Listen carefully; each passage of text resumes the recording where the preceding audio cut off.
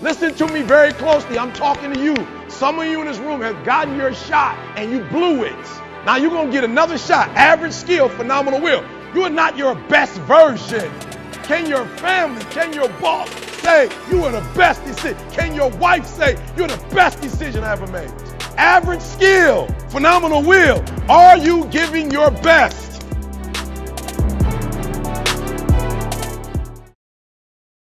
You can't have a bad day when your wife got a chronic illness. If you're having a bad day, it's because you selfish. Like you about you. That's why you had a bad day. Because you was about you. Really don't know what I want to do with my life. And I knew I would find it here, listening to ET speak this evening. So I took the three hour drive down to be here tonight and um, I'm ready to go. I had to be here. I've been trying to get to ET for so long. I'm telling you, he changed my life. I've been ironing my wife's clothes. I've been getting it in, putting in work when things didn't go right. He saved my marriage. I'm telling you, listen to what he said, saved my marriage. So listen to me very closely. You think I blew up because of speaking. I did not. I blew up because unlike most people that do what I do, I don't exit after I finish stage left and get in an Escalade and go and get in a private jet and take off. I actually sign your book, character. I actually look in your face, character. We actually have a conversation, character. I actually talk to you like you somebody because you are character.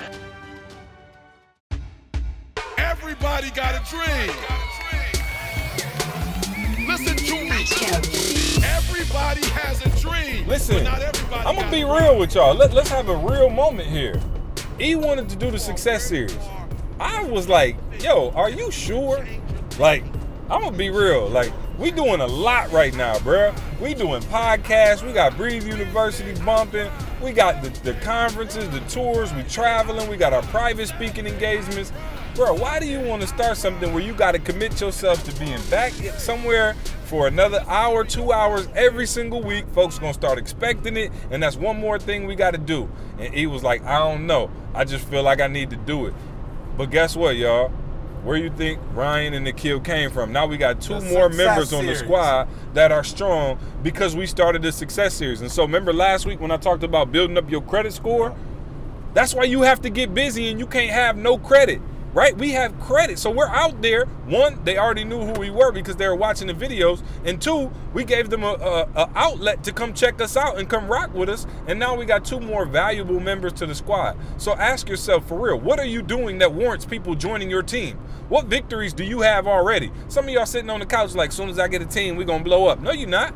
You should be able to get some small wins right now by yourself. And I, I continue to say that because small wins, Jeremy, as we just talked about earlier, create momentum. Because we continue to put stuff out there and we continue to grow each and every day. And the success series is now just another testament. If don't nothing else come out of the success series, I got me a Snapchat president and another hand on deck with the shooting and the editing and another part of assistant ETA. director A of logistics The assistant director. Snapchat. Right. You know what I'm saying? So, like for real, you have to get your stuff out there and then you build up that credit and then people come, man, and they want to be a part of what you got going on and they want to be down with the team. And lo and behold, it ends up working out for you. So get busy, man. But yeah, I wanted to make sure we covered building that team camaraderie and then also for the I'm not just talking to people who trying to build a team. For those of you who have a team and, and you have a strong group of champions with you, I need you guys to maintain that chemistry and continue to grow together. And it's so important to develop that relationship to where you understand each other. Because in that picture of me, you, and Carl, I don't even know what we were talking about. But I know that it was something to do with the conference, and it looked like we understood each other. And we'll put it, maybe we'll put it on Facebook or Twitter or something so you guys can check it out. But it just looked like these dudes got synergy. It was like me tell, and from the beginning, we've always said, I'm the brains, Carl's the hands, and E's the mouth. And that's kind of how we've always rocked. And so you can see that whole illustration in one picture. So for those of you who have a team and, and you have champions, keep that momentum going, keep that synergy going. I'm telling you, it don't take a whole 30, 40, you don't need 50 people to start a multi-million dollar company. You don't need it. You need a couple people grinding in the same direction, a couple champions, and you can go to that next level. No doubt. And I'm gonna say too, man, I think another, you know, missing element is that a, a lot of leaders were to get four or five people, like just immediately. You know, you just got blessed with four or five new people. A lot of people see wouldn't even know what to do with them. Right. Like you wouldn't even know what role they need because you don't really know what you need as a company. It- you know what I'm saying? You kind of you kind of know, but you don't know specifically. Like yo, if I hired five people, this would be the title for each person. This would be the job description for each person. These would be the resources that these individuals need to get it going. These would be the ideal situations, our ideal clients. You know what I'm saying? Like Yeah, I asked the client that the other day. I said, okay, cool. If you do get a squad, give me a job description and what people would do for eight hours. Let's just get an eight hour Yeah. day from whatever the nine to five, whatever it is. You tell me what if you have five people right now, what's their title and what would Yeah. they do for all eight hours? They, they wouldn't know. And he, you know what he told me? Social media. I said, okay, there go 30 minutes. Yeah. What about the other seven and a half Right. hours? So uh, we, we you can put up 10 posts. You feel me, Jay? You can put up 10 posts in 30 minutes. Yeah. So I'm saying, what are they gonna do for the other seven and a half hours? Yeah. Like that's how you build a company. You have to give them something to do day in day out. He he had me dying laughing because what'd you say when we was at Mary Max? You were like, "Yeah, it's crazy. We got stuff to do during the day now." Back in the day when he was Ah. speaking by himself, what'd you say? I He was, waiting on the phone. to chilling, wait for the phone call, get on the plane, go speak, come back to the crib. I was taking my son everywhere. I was like baby professional daycare, daddy daycare. You know what I'm saying? Because I didn't have nothing to do. But now, for real, we are work like I'm meeting CEOs. I'm I'm making certain phone calls. I'm looking at uh, got put- uh, uh, executive coaching clients. yeah, I got uh, somebody called me the other day with a digital curriculum that they did for Big Sean. They also did one for Usher.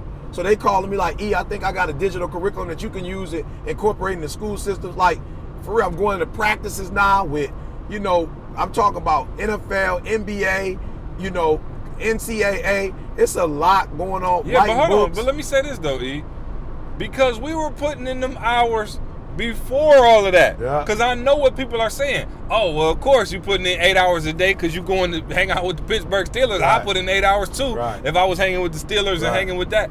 No, no, no. We were put. Let me tell you something.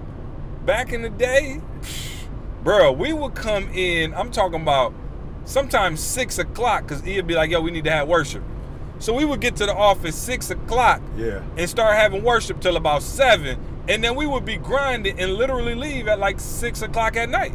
And that was only because he had a wife that had he had to be back to the crib or he was gonna get killed. Killed. Me and- I was single at the time, so I'm just Literally. rolling. You know what I'm saying? I'm rolling back. Boom. So we were literally putting in 12, 13 hour days, and I just mean together. This is all of us in the same room with some Chinese food and and, and a sticky uh, notes Yeah. just getting to it, grinding, figuring out how we would eventually get to the And Pittsburgh Faygo Steelers. Pop. And Faygo Faygo. Pop. And Detroit- better made chips. Yeah, better made chips. You know what I'm saying? Baby. But we've been that that's that we have been on this grind. Yeah. We have been I, I remember for real, what were we doing? He would be like, yo, we need a new sponsorship letter. Back back then our company was called Break the Cycle. We need a new sponsorship letter. We need some new logos. We need some new graphics. I don't know if he always knew exactly where we were going, but he knew we needed to work. I know we needed some business cards. So we would just continue to work. Which, by the way, we don't use anymore. We, we don't use business cards. We You, don't use you letterheads. the, hold on. You remember like the magazine we put oh, together? Come on, see, do I? We put together a magazine. I was on the front with a suit on, looking like I'm about 182 82 pounds with a red, white, and blue Yo, suit on. American, we and you guys were in the back. magazine. Yeah, I'm talking about laid out everything on Oh, the it was inside. sweet. Our mission statement, what we needed financially. I don't know if one Yo, good thing came out find of that. it. Yeah, I'm gonna find it and Ah, put it find up. I'm put it we up. were standing behind E. A bunch of people that ain't even a part of the company no more was in the picture. See at this pose, y'all. Oh, I had the meme up. oh, light skinned shotty. Ah, You know all day, saying? every day. For real. Yeah. But that you you see what I'm saying though? We that need- we- magazine back this would be like pre Photoshop Oh, maybe. no doubt. Oh, we way was going before. in. Hey, maybe, maybe we need to do a- another episode after this one. of Where No, are they now? Carl, Where are they now? find- Was Carl on there? Carl Carl was on Carl there. was on there? Yeah, Carl had the hat back. Where are they now? We Yeah. need to find out where everybody on the magazine is at right now. What are they doing? out. Yeah, for sure. Nah, because I think yeah, it was a few of them on there. Yeah. And they're still our people. It, It's all good. I think we just had some. No, I'm gonna tell you what it was. It was at least two or three people on the cover who we didn't even really rock like that, but we was like, yo, just jump in the picture, make it look a little fuller. We need the full picture.